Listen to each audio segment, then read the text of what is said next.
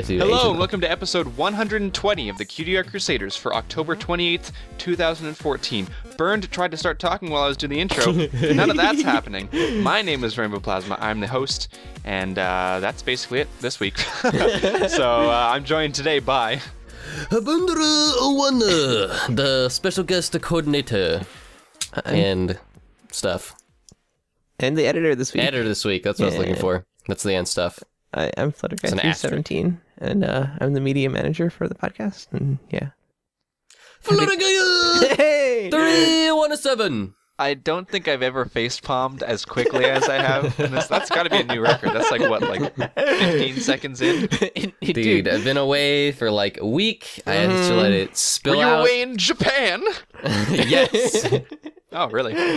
Yes, we that. were in the happy land of Japan, also known as South Dakota. South Dakota, also known as New Japan. Welcome Actually, to well- South Dakota.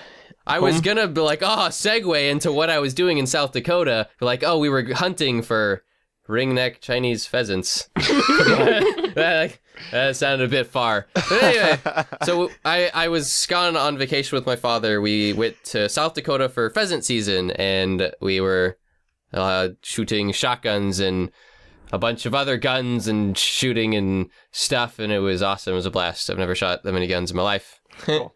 and it was cool. And so that was kind of my vacation. I got to spend a week with my uh, father at a lodge on a pheasant ranch, I guess it were.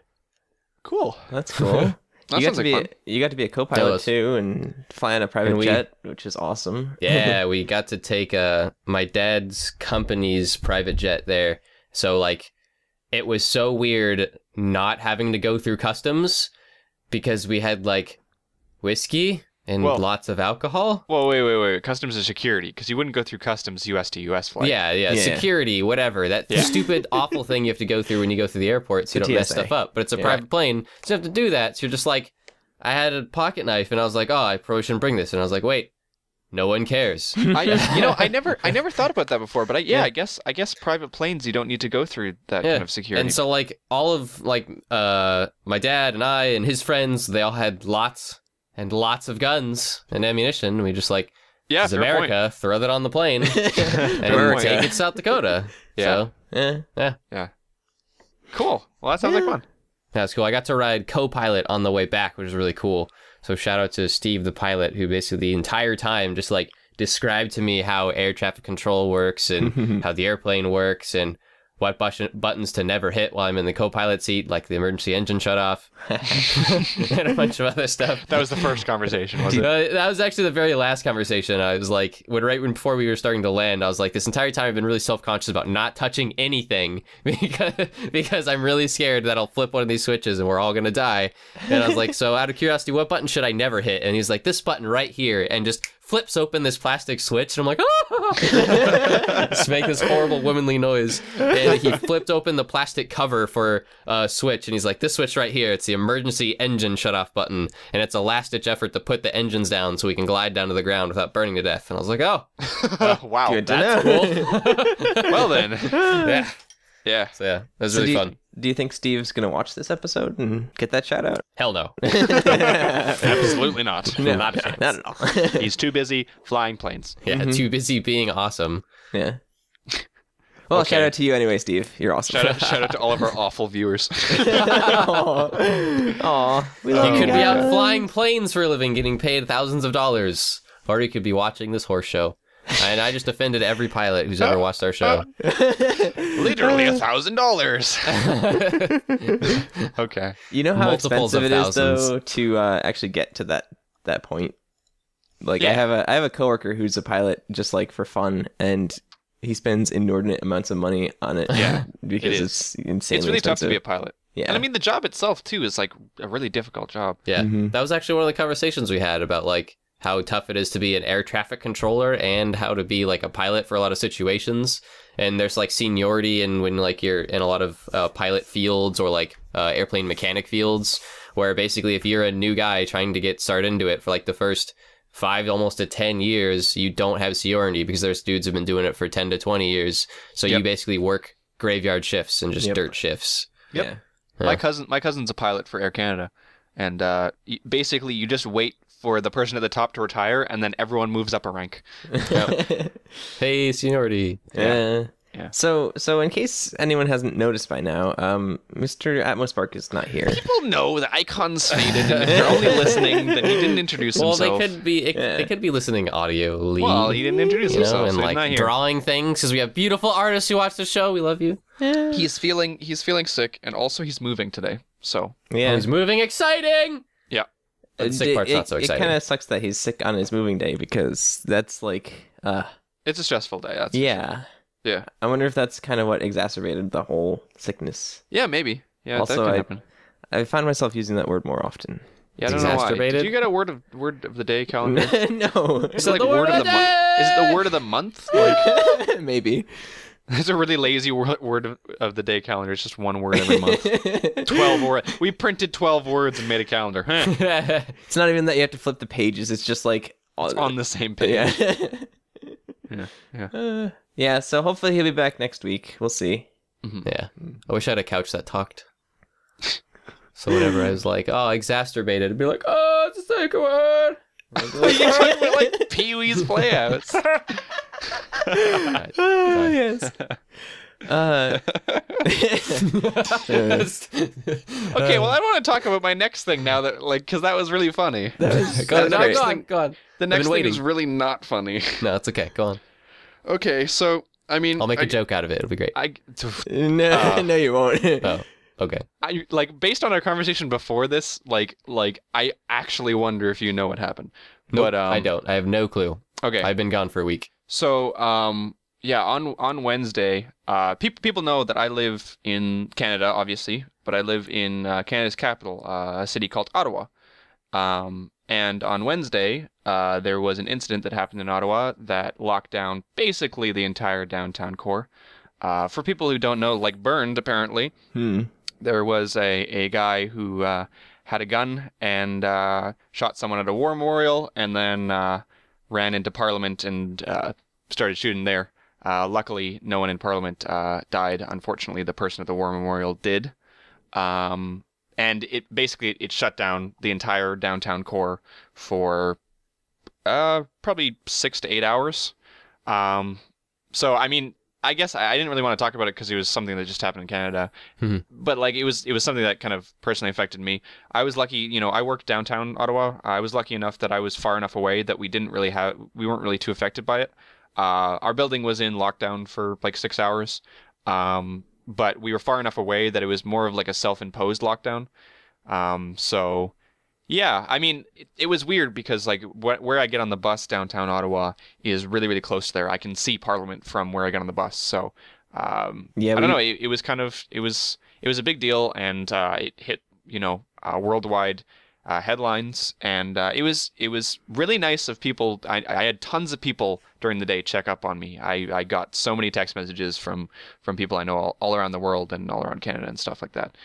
But yeah, that was. Uh, I guess I want to talk about that a little bit because I figure people might be a bit curious if they know I'm from Ottawa. But yeah, I was, I was like in lockdown for six to eight hours or something like that. Um, but everything was fine, and uh, yeah, people are dumb, but Mm. uh, we are stronger as a nation for it. Um, and blah blah blah blah blah. Yeah, We're not really a political tradition. show, so yeah. Yeah. Um, and then to make matters worse, y- your internet went out for like a day. Oh yeah, I mean like like not not to make that sound like a bigger deal, Yeah, but like it but- affected me a lot closer than than the shooting downtown did, obviously.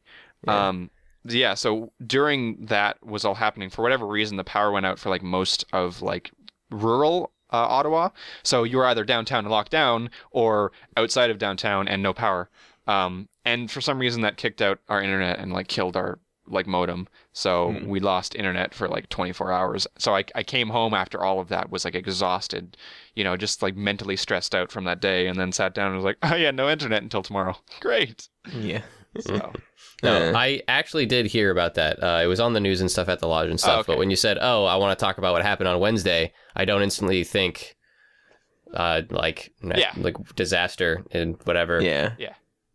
yeah, I mean, it, it's, it, it was, it was weird. I mean, it, it was so, when you think about it from like a, I don't know from like a worldwide perspective. I guess I don't view it as that huge of a deal because it was just one person. Um, but I don't know. It's it's weird. It kind of hits close to home. Uh, and I guess I haven't really been around an event like that um, in in a couple years or so. So, so Yeah. I mean, I actually had access to Skype, and I remember I went on it, and I saw that you were chatting, and I remember you had come up like, "Oh, you know, I think Rainbow Plasma lives in Ottawa," even though I wasn't sure because I don't remember where exactly you live. Yeah. Mm-hmm. But I remember you were chatting in there, and that you said that you were all right. Yeah. Yeah. Well, it was weird because we had just visited that place. Yeah, that was the weirdest part too. Like Ted Yeah. came and visited me after BronyCon, right? And he, we like one of the things that we did was we went downtown to Parliament. You know, so we walked around the center block, which is where the guy was. Uh, so we walked around center block, and and we went, and I vividly remember us looking up at the war memorial and talking about stuff. Yeah. So um, yeah, it was it was I guess I guess that kind of hit close to home because I have such vivid memories of that. So um, yeah, I, I don't know. It it's it, it was an unfortunate event, and Mm. uh, and uh, I just I'm just very I feel very blessed to to know so many people who are concerned and and just in general uh, the world kind of. I feel like everywhere I looked, there was people showing their support uh, towards Canada, and that, and that was really that was really really cool um, to to see. Mm. Yeah. Yeah. So thank you. And uh yeah, we'll move on to the art because that is a depressing story. And yeah, I was going to say, on to happier topics. Uh, before we get to our art, we have a really awesome piece of fan art that was sent to us by none other than late customer Dave. Um, and it is a whole bunch of us uh, at Halloween time. And we have Atmospark and Silver Rain Clouds in a pumpkin. And we have Otaku AP there and Kieran and things. Yeah, I mean, Fiona and it was all of it us. was it was all of the I, I don't know, I guess it's people that are close to Dave in his life and so yeah, it was it was really cool. I know that he showed a couple like sketches and he's been wanting to make something, but I guess Yeah. I guess it's considered fan art. It's more of like a I this is a picture with me and my friends, but yeah, yeah. well, uh, yeah, yeah, I guess. technically fan art. I, I do love uh, you your role in this piece. You're just annoying the heck out of him. Small, adorable horses. Dave knows I love him. All right, so for this episode, last week uh, when we ended the our previous episode, we mentioned that we were going to do some sort of Halloween theme, possibly, maybe. And then we didn't. Then we didn't. Yay! But we are doing a themed episode this week, uh, and it is kind of Halloween related in that we're looking at creepy art, Yeah, what are you talking about? This is Halloween themed. spooky Uh, art. Too yeah, I guess. I guess creepy. Like, oh, it's not Yeah. pumpkins and candy. Oh no! Yeah. Bernd, were you doing a me impression?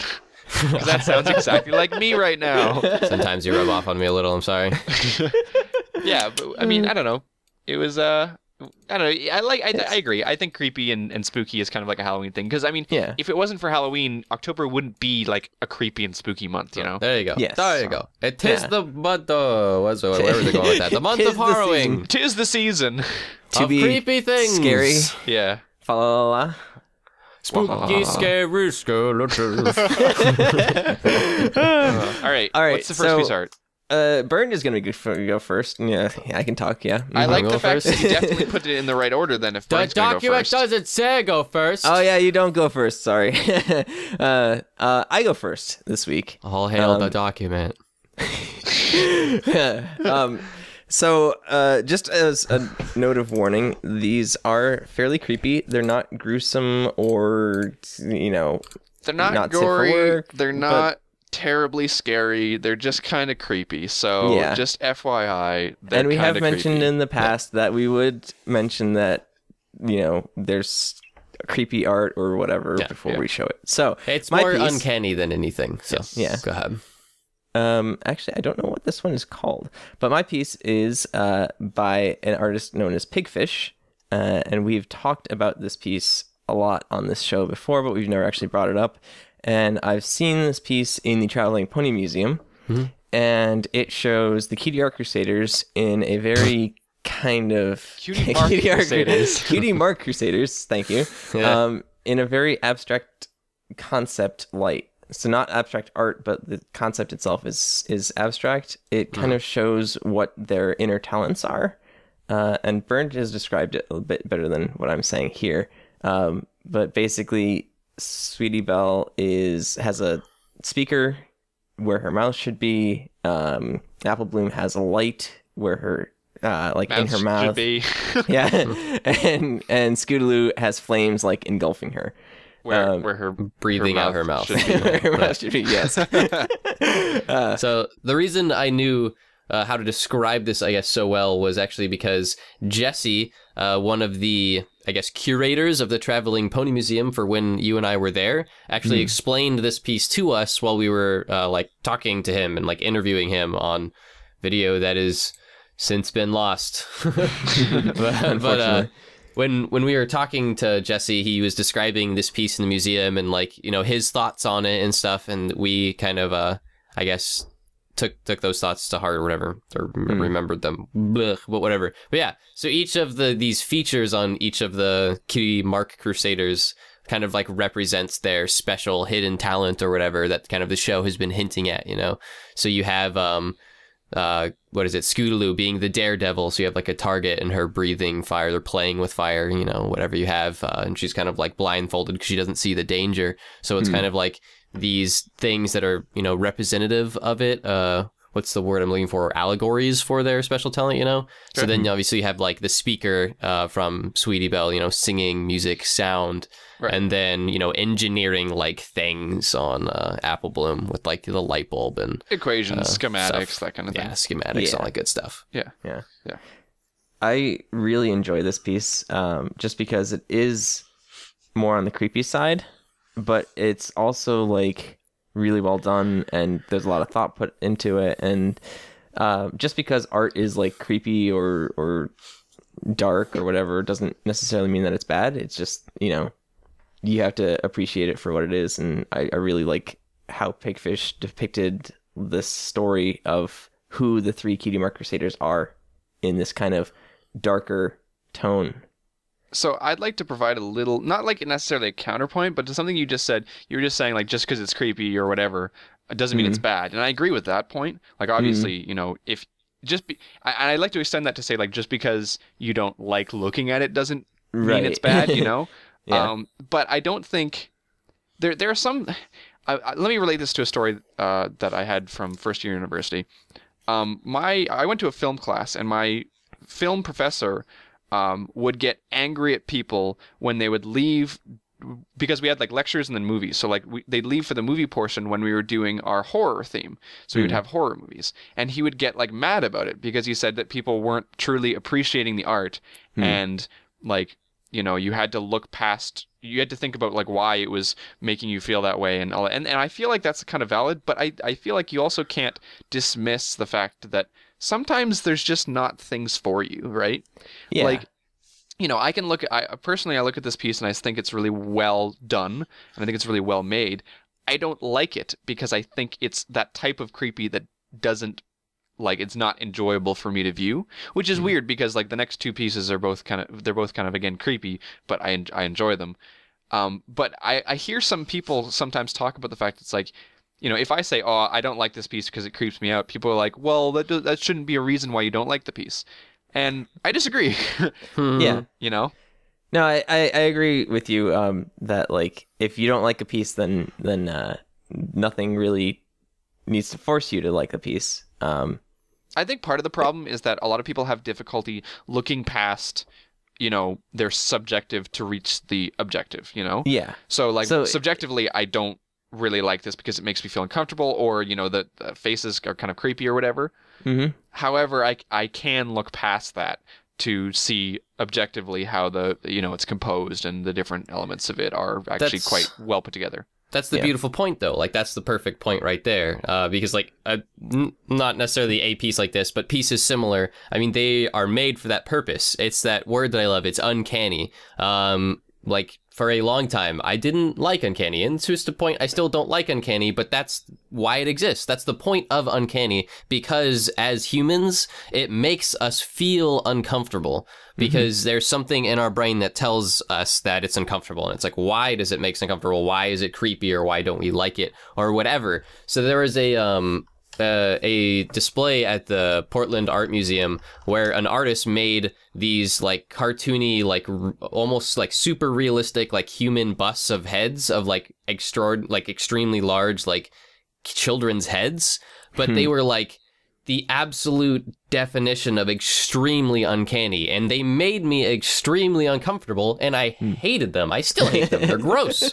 But like that was the point of them. That's why they existed. Uh, and it was like to play with that part in your human brain that tells you this is freaking weird and I don't like this. um, and so like this the point I'm not saying that's the point of this art that we're looking at, but there's definitely like uh, hints of that like uncanny sense in it. Uh, but yeah, anyway, go ahead. You were saying Yeah. Um, basically, like I don't know, certain people like myself kind of like exploring that uncanny um, feeling. I guess to a certain extent. I don't like Yeah. super super creepy art, but like like you were saying, like the Rainbow Plasma, that you know everyone has their own tastes and stuff, and so you may look at this, and you may not like it because it is creepy or whatever. But if you if you appreciate like creepy art to a certain extent, like I do, then yeah, you would Yeah, find this I- piece. I very good. suppose the thing is that I think it's perfectly legitimate uh, to not like a piece on the sole basis that it makes you feel uncomfortable, so long as you acknowledge the fact that it's done its job. right? And I think Um, and I think that's I, I think you know these kind of pieces do their job very well. Like for instance, um, there's a couple of pieces that we've featured on our show by uh, an artist by the name of Ray Drob, um, who's actually a fan of the show, uh, and he is a fantastic artist, and he has some uh, like human anatomy that he uses in his ponies, and uh, it kind of dips a little bit into that uncanny valley, and I find those pieces of art absolutely fantastic, just because I love playing with that that uncanny feeling, um, whereas other people may not. So. Right. Um, Uh, yeah. Um, at BronyCon, we actually got to, or I guess, uh, Mahauer and I. I don't know if you guys ever got to, but we got to meet Pigfish uh, in person, and he was super nice. He was a really nice guy. Uh, but we talked to him about his art and like brought it up, and like he definitely mentioned that he really does love to play with kind of that uncanny feeling. And actually, something that he was struggling with as an artist, which was an interesting point that I wouldn't have guessed, is he's been trying to make his ponies cuter uh, and like seem more feminine. Uh, and like, and he's been building on that and working on that and trying to find a style that he like wants to do that with. And like, that seemed weird. It's almost like the opposite of the struggle of some other artists. Right. Anyway, um, also at BronyCon, we did meet an artist who lo- y- loved to use Uncanny. I forget his name, but we did an interview with him. It's on our YouTube channel. Uh, Princess something or other. Anyway, um, Try yeah. that spuggaroo. Uh, no. yeah. Um, yeah, I mean, I I personally like how this piece is done. Just a because it, it does play with that uncanny valley, and also because the the ponies themselves are well drawn. The fire effect is is fantastic, and um, I don't And know. there's It's, diff- there's different styles too. So everyone has a different like style of uncanny that they enjoy. Like I enjoy this style, but I dislike other styles. Um, yeah. All right, so uh, shall we move on to the next piece, Sounds good. Which would be Bernd? Oh, me, yeah. Bjorn. Uh, cause Klizik. Bjorn. Click. Okay, so the piece that I chose was Luna by Shizmu, I believe, or Shizmo Zero. no, like, it's definitely Shizmu. well, is it two zeros there? Is there like a zero in a It's two space? zeros, Two zeros. Two Okay, zeros. It's Shizmu Shizmu. with two zeros. but I really like this artist. This artist uh, is gallery is full of like very extremely unique pieces and unique artworks and just unique style. Uh, very unique coloring, very limited palettes usually. Uh, sometimes with like compliments and stuff. And so like I really like th- this piece of Luna. It's again, it's playing with a little bit of that uncanny feeling, slightly not uncanny so much in that it resembles certain things, but uncanny and almost it's uh, I guess. I guess because it's not uncanny valley where it's like resembling human, but it's still uncanny to where there's like uh, interesting feeling about it. Am I still using that word correctly? Eh, yeah. Close Yeah. enough. Yeah. Yeah. We'll just say creepy. That's a creepy Yeah. horse. Yeah, there you go. There you go. Yeah. Because there's there's things that are happening that look kind of creepy, but they're done in a weird way where it's not explicitly like uh, violent or explicit in the terms of grotesque. You know what I mean? It's you have basically this uh, what is an object of the moon like actually piercing through Luna, who's kind of like not like drawn like half of her, you know, but there's nothing really um, violent about it or you know explicit that would get like a rated R rating, but just kind of how things are drawn and detailed. There's like has the moon like going through her head and then through her abdomen. Yeah, Yeah, it's kind of just creepy and it's cool. I like it. yeah, and obviously there's there's the uh, there's the comparison of of her cutie mark kind of black seeping up and almost being treated like blood or something like that. Yeah. Um, I mean, it almost looks like ink because of you know, like I, I see it Yeah. almost as ink because you know it's we're looking at artwork and Yeah. uh, it's you know it's a digital painting and you know it's just black or whatever. But like yeah, it could totally be seen as like a blood, but it's you know it's playing again with like the fact that it is a cutie mark and a bit of shading up above. Well, See, and, I- it, and it, I- it kind of manipulates you too because you look at it and you're like, oh, that's blood. Oh no, it's black, and it's like the Yeah. art tricks you. It's Yeah, like, no, it's not. but See, you I- thought I- it was. I think of it as night sky, and that Luna is internally made of the night. She is the night, Interesting. and Bleeding so she bleeds night. Yeah. So how about how about her hair? That let it's a pretty interesting interpretation. It's almost like it's mm. gooey. It's like it's made Viscous of was a word we used once. Yeah, yeah, yeah. Yeah. Yeah, it's very Viscous is a good adjective. gelatinous, jellyfish-like. Yeah, it's very liquidy, you know? I mean, you can see it, you can tell that it is transparent and it has qualities about how it is drawn that have a verisimilitude. The word of the day! that mimic mimic liquid. So, you know, you can see basically the background uh, through uh, the hair and then on, on the hair on her head, her bangs, you can see that they're like her uh, coat color is behind it as well, which makes it look liquidy and it is round and organic the lines on it are are organic, you know, very round and soft uh, and whatnot. They're not, you know, sharp edged. So again, more, you know, viscousy qualities. But has little dots, little stars that don't quite look like stars, but they're still dots to, you know, to mimic her hair. It's Yeah. almost like glitter in like a snow globe. Hmm. I, I wish you were here last week when you said that word because I, I just looked it up and the description was great. I mean, like What's the Veri- description? verisimilitude. Yep. Verisimilitude Verisi- is the appearance of being true or real. Mhm. And I think that's really cool because last week we Oh, talked a lot about like things that were like looking kind of realistic and, and stuff like that. So that's a that's a great word. Yeah. Now that's a word of the day calendar. Thank you, art history, and my teacher. Shout out Yeah. to my art history teacher. so like we've got we've got this weird like dripping ink night thing we've got like her gooey hair and we've also got these like blocky like almost carved wings Hmm. it's really strange it's kind of like these three different you know you've got this the solids and the and the liquids and the like the like gooey plasmas and it's it's it's a really weird like mixture of the three and how they're so like very separated but still part of the same character Yeah, and that's why Yeah. that's really what makes it awesome because like at first glance, like when I looked at this piece, it seemed inherently simple, you know, just with like an almost brownish orange background, and then uh, you know, this kind of just the little depiction of Luna. But there's all these little qualities about it, like the hair, like the moon, like the wings, and everything that are just so juxtaposed is a word that you like to use, and that make Oh, yeah. make this piece seem so cool Yeah. to me. Anyway, Yeah. I really, I really like um how the piece is laid out because Luna's front and center, and then the moon and her hair, her mane, kind of create this circle around her and uh, really bring your focus in. The, her tail, not so much, but you know, Yeah. yeah. I mean, there's a certain aspect of of of diagonality. Really? hmm. Yeah. okay. Sure. That came out.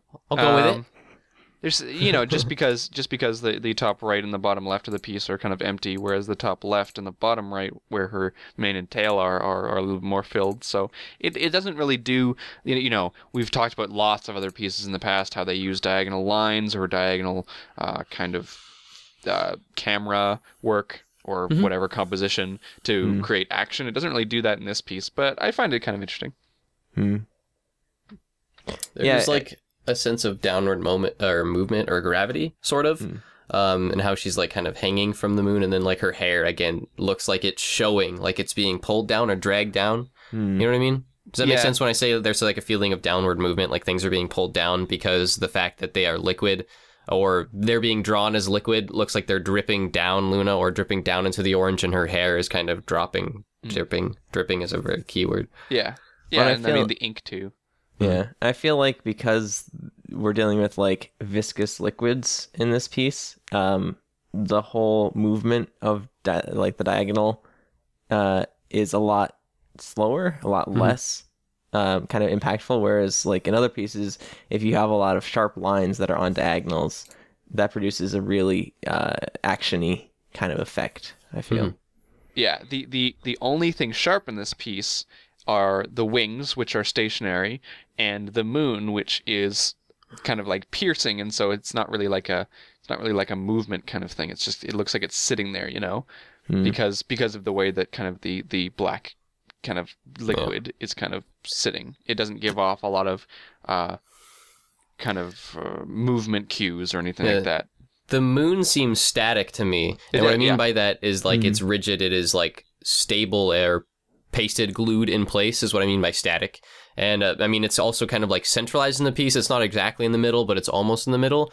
And how Luna is kind of like almost placed on it and like has her hooves on the front of it, like she's holding herself up onto it, also Right. helps make it feel like that to me. Right? Mm, yeah. Like impaled, I guess. Yeah, definitely. She's she's definitely like if anything would be moving or like falling off of the piece, it would be Luna off of the moon, not the other way around. I could totally Right. see that too. yeah. I think it's really cool though how you can still have you can have some aspect of of you know I'm gonna say diagonalization, but that's like a linear algebra thing. Um, you know, you have some element of diagonals in this piece, and yet it's it's bogged down by again you're talking about like the viscous hair and the and the other movement cues, which are very obvious to us that they're not moving in in any particularly fast way. You know.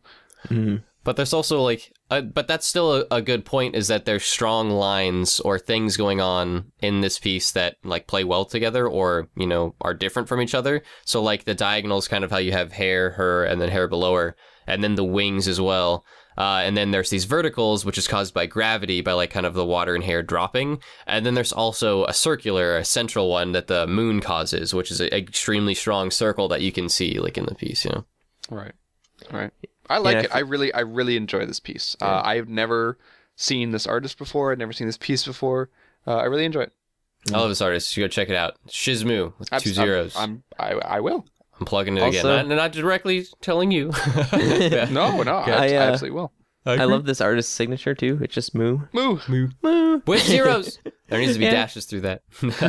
um, the last little thing I was going to mention is uh, like obviously it's a digital painting, but also the colors are sort of complements. And what I mentioned is that this artist kind of likes to use muted color palettes. It's not it's not usually bright, vivid that are like in your face colors. They're always like weird, kind of like off pastel colors. And it it's again really like key to this artist's style. And so like that kind of muted, dull, muddy orange, but you can still tell that it's sort of an orange in the background, uh, is the compliment to Luna being kind of like a weird blue, almost violet, and then like her hair also being blue. That's a really good point. It is kind of yeah. like a dull compliment.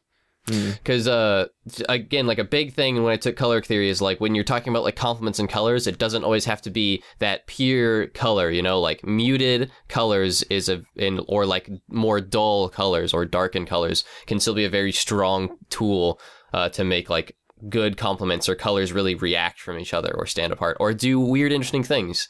Like these colors don't really pop out or stand out very, a lot to me you know? But there's like how they're used is unique Your color choices don't always have to be in your uh, audience's face. You know. yeah They can be used for much more subtle things, like I think in here. Yep. It's a great choice of background. Yeah. All right, shall we move on to our uh, last piece? We shall. So this Uh, one's mine. I guess I, I I guess I should introduce it then. Um, so the one that I picked out um, was called uh, Library of the Dark, or whoops, Library of Dark, uh, by Fruit Blood Milkshake, which I think we've had. We featured him his stuff on the show before, haven't we? I think so, The yeah. one with like so it's Twilight, Luna, and Celestia, and Yeah, the Phoenix here's thing, Of, here's of Equestria. Yes. whatever Right. the Phoenix thing is. Ashbird. So Oh, yeah. Philomena? So What's anyways, its name? so- Philomena? Thank you. okay, Ashbird, the Phoenix. um. Anyways, uh, yeah, I, I really, I really enjoyed this piece. Something I noticed in all three of the pieces is that there's a pony missing the eyes or having like Mhm. weird eyes, which is interesting when it comes to like making you feel kind of creepy. But this one's got, I think this one out of all of them has the most atmosphere to it. It has the most creepy environment, not just the characters that are supposed to be making you feel creepy. You know, the Yeah. the situation as well is kind of uneasy.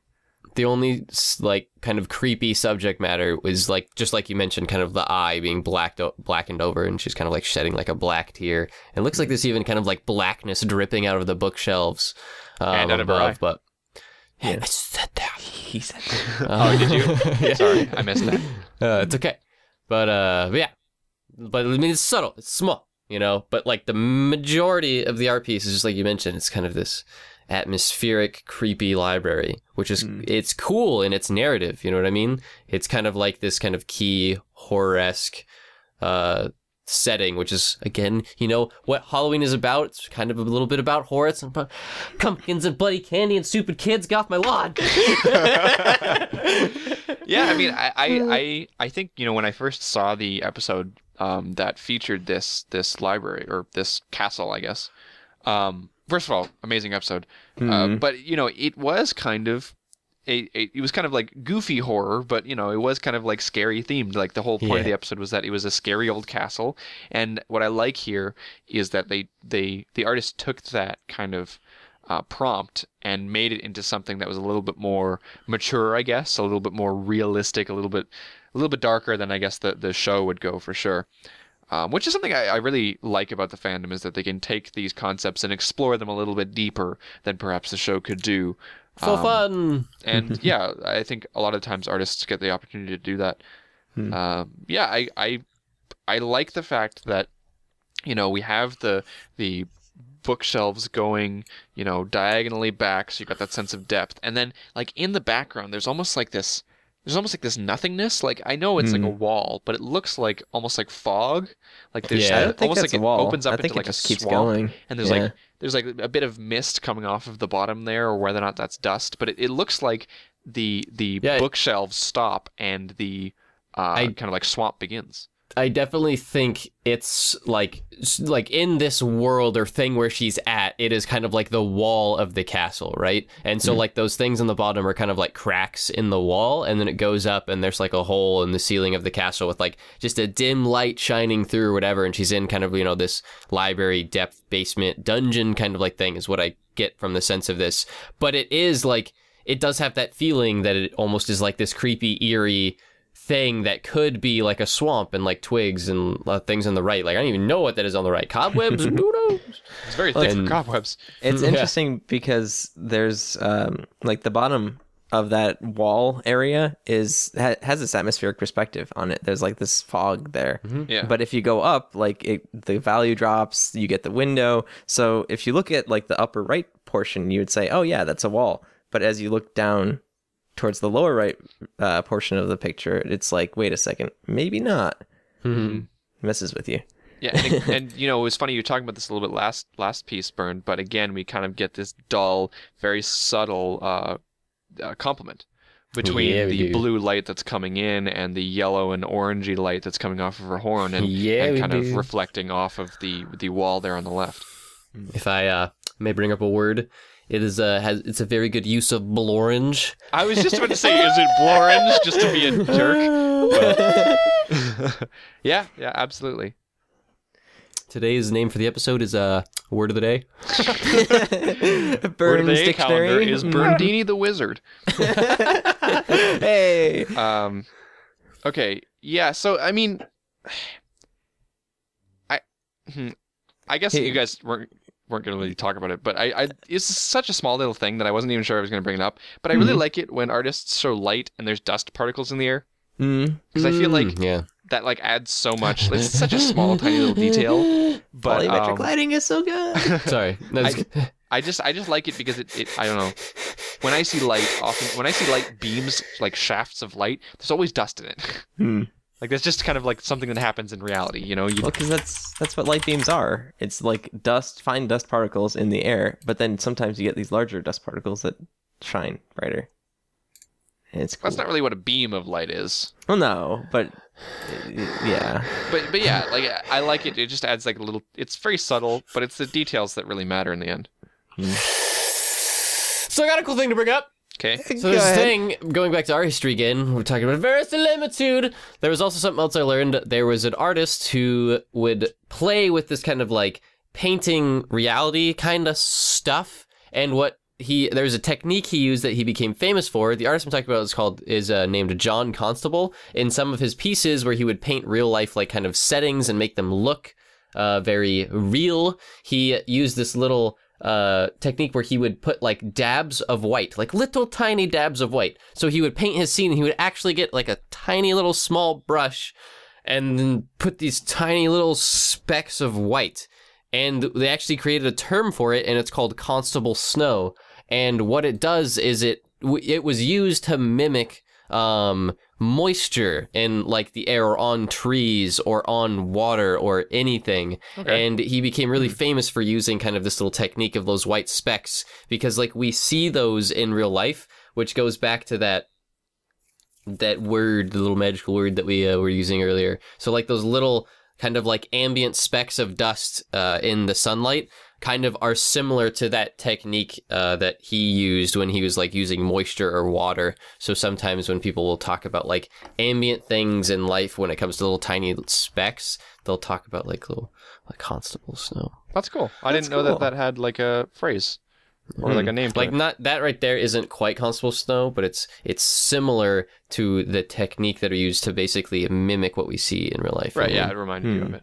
Because it's a tangible thing that we recognize when we see those specks. We don't go, "Why are there white specks on the painting? Why did someone accidentally sneeze or do something onto the painting that made white things go there?" We instantly recognize it as, "Oh, that's dust in the the sunlight." Or Yeah. if like we were mm-hmm. looking at a piece of like a painted outdoors and there was a bunch of little white specks, you'd be like, "Oh, I can see those reflections of water droplets or mm-hmm. something." We mm-hmm. connect them with things that we know in life and not assume that it's sneezed paint. Excuse me. I that's, can a, I that's can a I new point form out how of art, by the way. what? Sneeze paint is a Oh. new form of art. Yeah, can I point out how fluffy she is? Is that inappropriate in a creepy episode? Like to point out a happy thing, but she's so fluffy, I want to die. uh, I mean, I guess that's creepy in a Look, creepy. she's so fluffy. Yeah. See, but this, this, the other ones. When I look at the other pieces, I'm like, a get away from me. When I look at this one, I was like, she just needs a hug. Aw. Like honestly, she's had Yeah. a long day, and I need a pillow. So she just looks very fluffy, okay? Yeah, it's Yeah. fluffy. I think she's painted really well. yeah, Mm. I like. I really, really, really like the depiction of the wings. I think Mhm. that kind of like layered feathering. You know, still Yeah. large layers, but kind of like sharp pointed and like layered over one on top, one on. I mean, I mean that was. I can't even speak.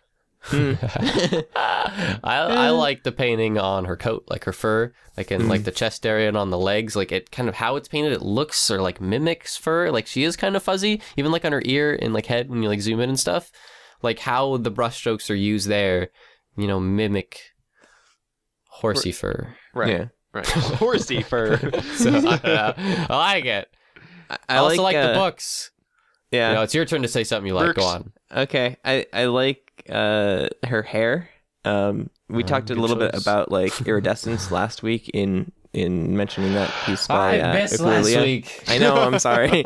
uh, but th- this is a bit more of a duller iridescent look. But like, if you look, the mane on her left, so our right, is like very wispy, very like cloud like. like going down her neck. Yeah. yeah, and then but it gets solid, like more solid as you go up. And her tail too. You've got Yeah. like those strands, you know, that like mimic like she's like stressed. Yeah. Did you Uh, like? did you just mix like Eastern European with like Wisconsin? I'm gonna go with Dude, I don't yes. That was Um, the weirdest me. mixtures of accent I've ever heard. It's my turn to say things I like. Okay. I like the books, the like glowy, like creepy books, and they're like I don't know, they're like ominous, and like there's this weird chained book on the left. Like, why do you need to chain up a book? They look like spiders. They do. I think Yeah. the books are the spiders, actually. Well, they're, got, they're like, chains. the They're actually, they are actually chains. Bernd made a good point, but Yeah. It's a cool library, the evil library. Oh, oh, yeah, those aren't. Sp- oh wow. Mm, mm, yeah. they are they are chains. hmm There's So- um there's a piece similar to this, but a complete different feeling, and it's by Mystic Alpha, and it's Twilight trying to read from the same library, and it's and then it's uh, Celestia picking her up and like, no, you can't read these books, and there's like little like evil death things like coming out of the book, and she's like, no, I want to read. You guys remember that? You know what I'm talking Yeah. about? Yeah, All I I- can yeah, remember yeah. is like, oh, yeah, yeah, yeah. I think I do. Mhm. Sorry, who So that just- by again? The evil that was by Mystic Mystic, Alpha. Alpha. Yeah, yeah, yeah, yeah, yeah. Yeah, they remind this reminded me of the like evil library. I was like, ah, Twilight's been in this library before. That was but it that one was a bit less she dark. was a filly. yeah, quite a bit less dark. Sorry, off topic. sorry. I have one final thing about this piece, uh, and that is that I really like how Fruit Blood Milkshake mixed a whole bunch of like this creepy like subsets. So like you have the the creepy ambiance. So you have all, this shaft of light, the darker colors, the muted colors, the whole library setting and whatnot. You have uh, Celestia herself, which is that uncanny creepy. Uh, and then you have like these books, which is kind of like a foreboding, like monstrous, creepy kind of almost. Really well done. And those colors help so much. Like we talked about already, but this colors are so good because you All right, got like the, the red going to the green and the orange and blue, and it's all muted and it's dark. All right, I'm cutting And you off. No, I want to repeat myself again that we've said in other episodes that when you mix colors that are complements kind of together, they create like a dull kind of gray. So hmm. that green in like the top portion of the piece and everywhere there is dark or gray, it is actually still like it has a tint to it. It has a color to it. It's, you know, it's partially green complementing the light and stuff like that. And it's all, it's good. Fruit by Milkshake, you're a good artist. You know what you're doing. Keep it All up. right, let me just give me give me a second here. I'm just going to look up in my oh my word of the day is defenestrate, which is what I'm going to do to you. Can? I can I help you? With I don't that? think you can say that on the show. I have never defenestrated anyone. Do you, do you not know what defenestrate means? I like my gonads. It it means to throw you out a window. Oh. Yeah. So, anyways, let's move on to the questions because we're done with art. I'll just fenestrate your face. Uh, you can do that. It's a thing. Um, all right. So our questions this Got 'em. week, because we don't have our question master, will be read by me, uh, and then the second question will be read by Bernd in a silly voice. Yes. So uh, the very first one is: What is your favorite MLP fan theory, or do you have any theories of your own? Uh, by E. I. Lewolf. All right, I have one off the top of my head. Um, I don't think that's the right phrase, but go on. the tip top. Yeah. Okay. Um, my favorite fan theory is that Star Swirl the Bearded and Discord are one and the same. Um, it's kind of been passed around a bit. There's been kind of hints in the show that it could be potentially like that Discord was Star Swirl the Bearded, and then he like had an accidental spell that turned him into Discord, and chaos ensued or whatever. But um, I don't know. It's it's kind of an interesting theory, and I like it. I'm I don't know if I prescribe to it like completely, but it's it's interesting. Cool. How Yeah. about you, Bernd? Any fan theories that you latch onto?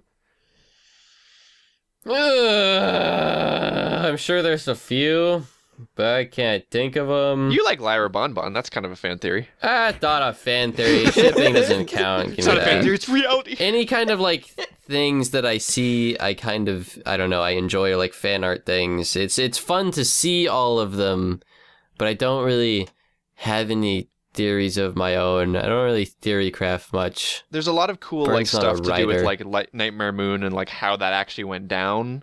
I mean, I know they've shown it on the show now, but Yeah. you know, there's stuff like Children of the Night and other things like that that Yeah. kind of describe the Luna and Celestia interaction. Mm. You're like you're talking about favorite fan theories. I mean, one of my favorite things is Children of the Night, so we can go with that. That's fair. That's completely Yeah, fair. Go with I like yeah. that. I like the whole thing where it's like I'm Luna and these children are sad. I'm gonna take them away, and gonna your like, you know. Uh, you took my children, and then the things and happen, and yeah, it's all right. Yeah. So my favorite, my favorite fan theory. Well, it's actually not a fan theory. It's a theory that I have that uh, Twilight Sparkle is actually a ghost. She's the ghost of Bruce Willis. Um, and uh, She's and- untouchable. yeah, So no, she's just she's invincible, like No, that she- movie, no- Untouchable. she's no. like she's a superhero. She can't die. That's why she like gets through the hydras and stuff, and she never dies in the series when she should have. No, wait, wait. Right? So she she saves the world by uh by finding the fifth element and uh getting some stones out of a blue alien and then Oh erecting my them in gosh, the, the elements of harmony are the Egypt. stones. no, Oh my she's, God, she's just really good at beating up Russians and walking acro- across grass. Glass, damn it! Multipass. Why can't I talk today? Multipass. Lily Anyways, Dallas. yes, she died at the end of Sixth Sense. Uh, anyways, Dallas. Spoilers. any more, any more, any more Bruce Willis jokes? Uh, Keep it rolling. Uh, That's all I got. uh, Yippee mother bucker. Okay. Uh, okay. Bernd. The second question demands your attention. okay, you you guys gotta pick a voice for me though. What do you want to hear? What's, bur- what's a burn? What's a burn I voice want to that hear you want me to Berndini send? the Wizard. Berndini the wizard, Yeah. He's Oh, God. Bernardini, of course, being of Swedish descent. Swedish descent. Because I, don't know if I can do wizard, but I might be able to do sweet Swedish. all right. Time to defend all of Sweden. Wait, isn't Ramislak Swedish? Ramisak is Yes! Swedish. Oh my god, it's my Ramislak. Ramislak, I'm going Nash to is offend your people. so how do you usually spend your holiday? Sent in by Ramislak. you sound you sound like Luna in um, Friendship is Witchcraft.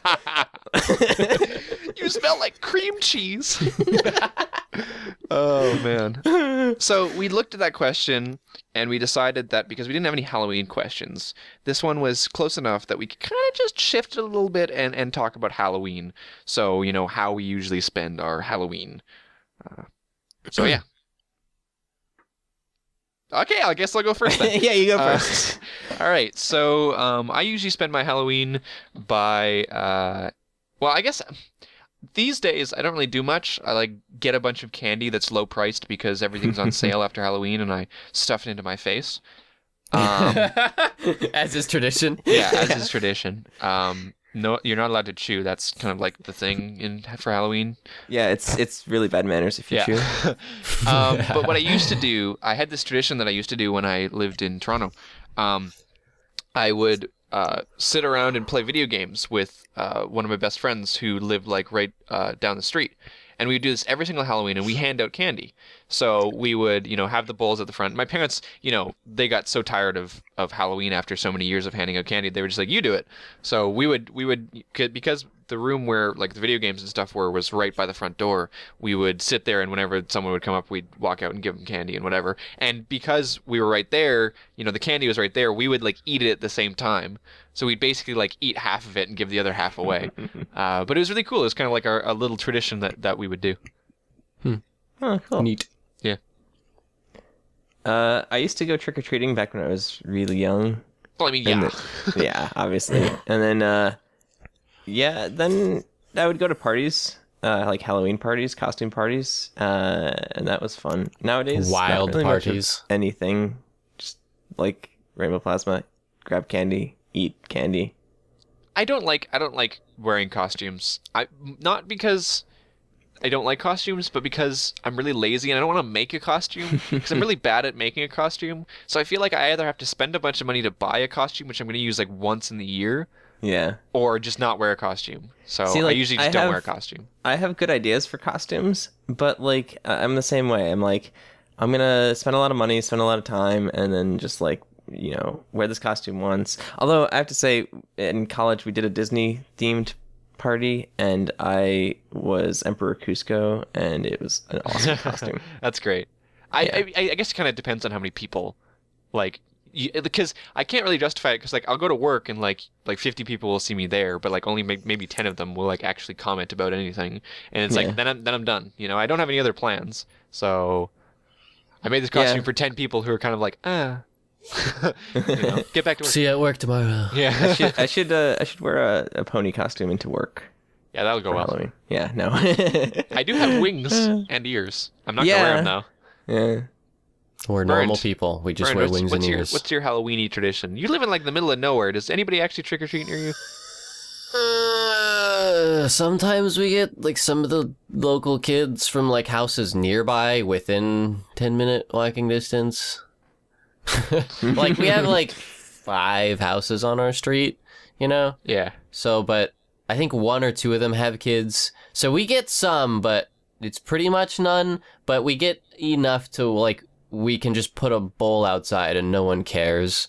Hmm. What I want to get is one of those spider things that like you have. There's like a pressure pad and you put it underneath your mat. And you put the spider behind the candy bowl, and if they step on your welcome mat in front of your door, it's "Gah!" and it fucking, like, it the jumps candy at 'em. springs out at them. Yeah, the friggin' no, the spider, not the candy. Oh. Spider showering jumps at them in them. candy. Yes. Spray candy at them. That would be sweet.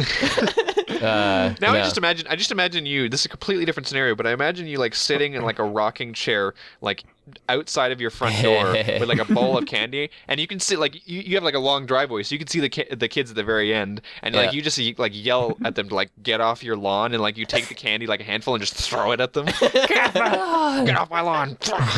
yeah, I mean, I was saying with you guys, like, uh, I did the whole like being little trick or treating thing. I was blessed in Alaska of all things. So normally it was wading through snow Yeah. to go trick or treating. yeah. Yeah. Uh, there was one time I remember that was a lot of fun. It was like when I was about the age where I go trick or treating by myself with like my friends, you know? Hmm. Uh, got, I don't know how old I was, 14, 13, something like that.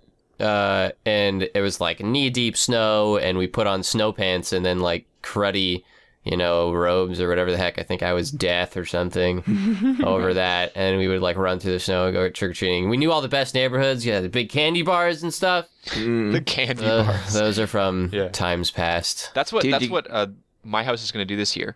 We're gonna buy a bunch of like of the big candy bars and hand them out. Yeah, um, that'd be nice. So we're gonna be gonna that be house. We're gonna be that cool house. house. Nowadays, Burns just like dresses up as a fairy and sits in front of his computer. I guess that's every day. See, now you're gonna have to take a picture of that and like put it somewhere. I think he needs to turn his webcam on for like all of Halloween. Actually, I could make a sick costume. I could get like a cowboy hat or something because I've been not Sick shaving costume, for like bro. I've been not shaving for like the past three months, and so like my mustache is super curly again. Mm-hmm. and it's fantastic. You could be like a and then villain. for some reason, the you know that little tuft of hair that like grows underneath your lip. It's kind of like that little soul patch thing. Soul patch, yeah. Yeah. That for some reason has bes- been doing like double time, and it's like longer than all of my other hair. And for some reason, it curls up mm. and juts out of my face the same way that my hair grows. So like my hair, you know how you brush it to one side, it's going to my my uh, right side, and then the hair growing out of my stupid little soul patch thing is curling up and going to my right side, so it matches the curls on my mustache. And yeah, Stop talking about how your facial hair is growing. It's that's a day in Bernd's out. life. So, So like I could be like I could be like Frito Bandito. I don't know. so wait, know, That's what my mom calls me. This entire episode Bernd. Was it just a setup for you to talk about your facial hair? You know, more or less. I knew it. Uh, so, so Not that I don't enjoy talking about my mustache. I guess I guess you'd have a sweet mustache. Um, I guess Thank like you. uh, one more, one more like little question for me, like as a side thing to do with Halloween. Like, what did you guys usually use for like gathering up the candy when you used to go trick or treating? Because I would take pillowcases. pillowcases. Yeah, Pillowcases, dude. yeah. All right, up top. Yeah, Uh, absolutely, pillowcases every single time. It was they were the great. best. yeah. 'Cause They're huge, and you get the long pillowcases because you need all the candy. Yeah, Back I would when I never, was- I would never fill them. That would be crazy. Like, I probably could have just taken like a regular bag with the amount of trick or treating that I actually did. But I Mm-hmm. don't know. There's just something about the fact that like you bring out like the the big pillowcase, and it's like that expectation of like maybe this year I could fill it. Yeah. Yeah. I guess I allo I kind of sit around and wait to get invited to something. Sometimes I do, sometimes I don't. I remember like a couple Halloweens ago when I had a girlfriend, I got invited to go to costume party there, and it was pretty much like an excuse for all the women to dress up like sexy anything. Right. So my girlfriend was like a sexy mobster. All right. That right. was a, that was a good time. Well, I Ah, think yes. we're running up on time here. High school was a good time. Let me tell you when. tell you stories. Okay, about how so- short that skirt was. So, okay, we need to do the plugs. That was the questions. Thank you very much for Mm-hmm. the people who keep sending in questions. Uh, we still got some to get through. Um, Send yeah. me pictures of in your if you sexy costumes. Preferably women. Okay, so Bernd, why don't you do the plugs for us this week? Uh, Kidoke. Uh, let's see. We have stuff. We have a DeviantArt. It's cutieartcrusaders.deviantart.com. And then we have uh, email, which is uh, cutie or cutieartcrusaders at gmail.com. It's where you send your sexy Halloween photos to. And we have a Twitter, which is at cutieartcrusade. We have a Jesus. We have everything. We have a Tumblr, which is cutieartcrusaders.tumblr.com. We have a Facebook, which is facebook.com slash cutieartcrusaders. And we last probably have but something not else. least, last but not least, something that's very important to mention this week. We have Mm-hmm. a YouTube channel, which is youtube.com slash cutieartcrusaders. And the reason why this is important is because if you are sitting right now and listening to this podcast and you are on the YouTube channel for Everfree Network, uh, all then 30 something people that watch that. then you need you. to you need to get off your butt right now head over to youtube.com slash crusaders and hit the subscribe button there because this is the final episode that's going to be going up on efn's youtube Subscribe, like. so if you want to keep getting the show then you know you can either keep heading out to the everfree network uh, live streams you know every uh, week tuesday at 8 p.m eastern on Everfree's live stream. We're definitely still premiering there, but uh, we are moving over all of our YouTube uploads to Cutie Art Crusaders on YouTube. So go there and subscribe if you want to keep seeing our stuff, because that's where we're going to be exclusively from now on. Share our videos. Yeah. So if you're if you're on Everfree Network's channel right now and you haven't subscribed, then get your little butt over there,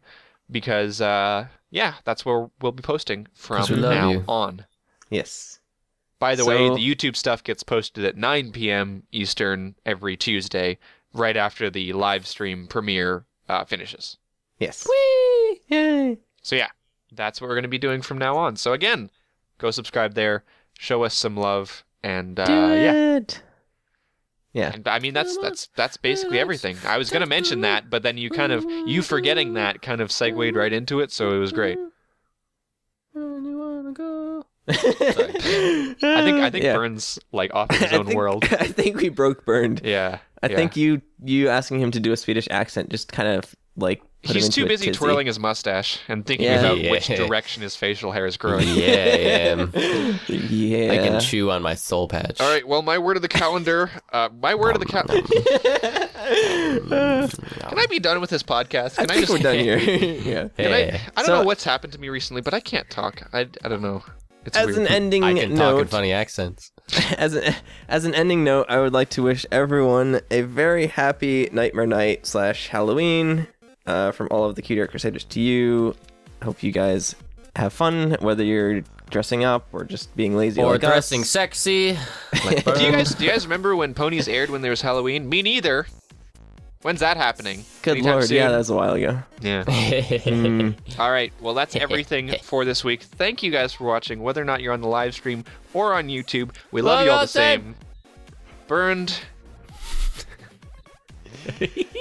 My name is Rainbow Plasma, Let's burn. I'm Flutter 317. and have a happy Halloween.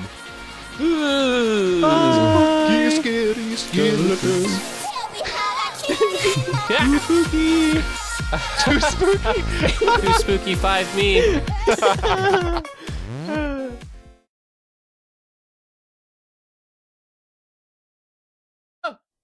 God, that was terrible. I got it. I got it. Good. We're good. I'm the best.